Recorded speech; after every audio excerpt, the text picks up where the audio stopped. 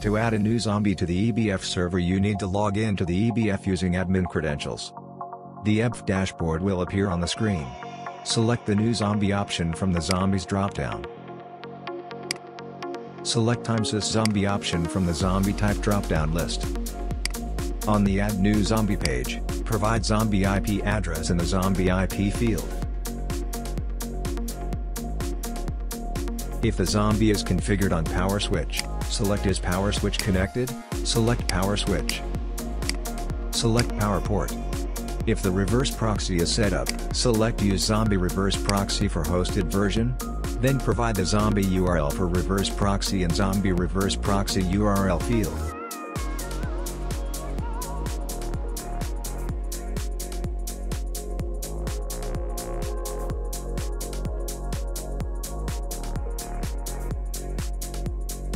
Provide the app zombie IP address to the corresponding zombie.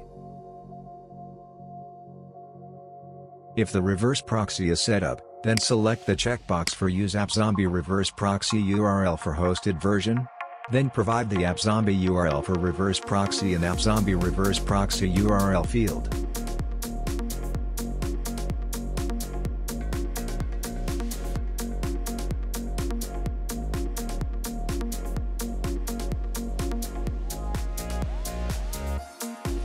Now click on the Submit button to add the zombie on the EBF server. A confirmation message will appear on the screen indicating that the new zombie was successfully added.